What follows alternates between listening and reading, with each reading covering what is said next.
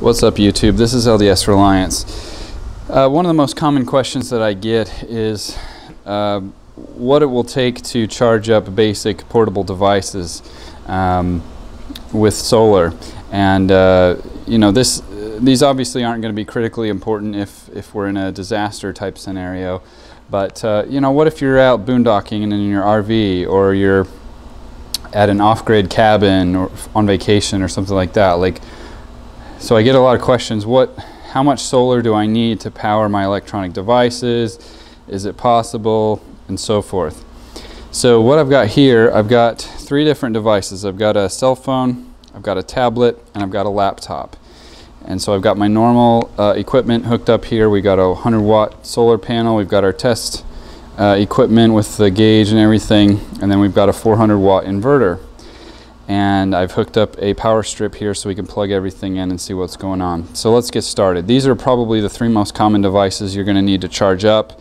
Can you do them all three at the same time? Uh, kind of what are what's typical here? So I've got a just a, a cheapo flip phone. I've got an i uh, sorry an iPad, and then just a uh, run-of-the-mill laptop.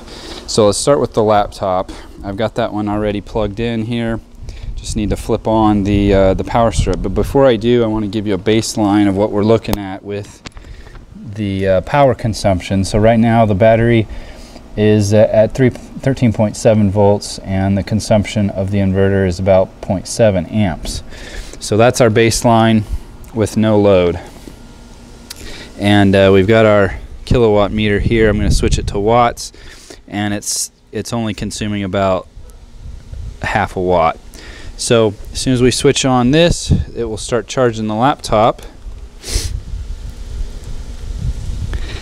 And there we go, finally. Okay, so it's charging right now at about 23 watts and it is just charging the laptop. So that's very easily doable with solar. That that's pretty much nothing. You could do that with a really small panel.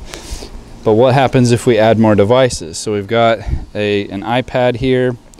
So I'm going to go ahead and plug this into the power strip and add that to the mix.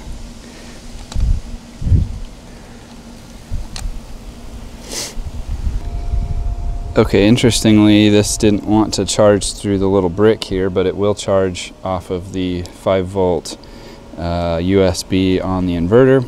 So whatever, good enough. We're just not going to be able to see it come in on the kilowatt meter.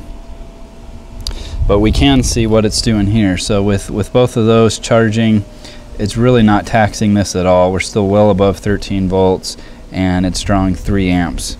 So let's plug in the cell phone as well for the last device.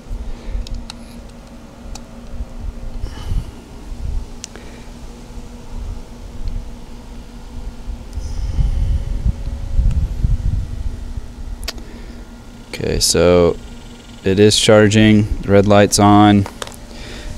This one's charging. Laptop's charging. So that barely bumped uh, the uh, the kilowatt up at all. We're at about 20, 27, 27 and a half watts. Um, and this is probably pulling another, you know, five watts, something like that. So again, we're not even taxing this thing. And I wanted to do this to show you that you could probably uh, charge multiple laptops, multiple tablets, and you know a half dozen phones off of this one 100 watt solar panel if you if you needed to.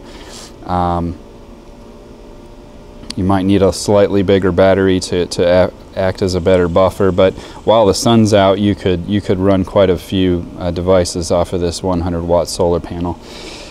Anyway, uh, that's that's the by far the most common question that I get about solar um, is charging these small electronic devices, and it's a perfect use for this. And uh, hopefully, you guys have learned and, and it's answered some of your questions about that. Thanks for watching.